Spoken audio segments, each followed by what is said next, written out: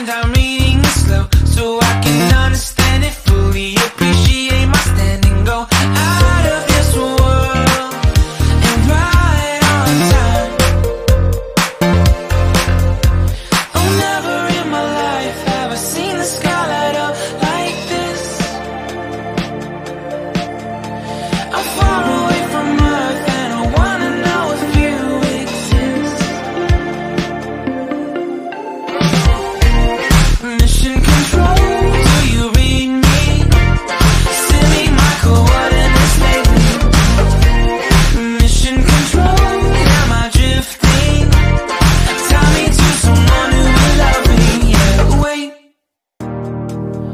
think I'll last a bit longer.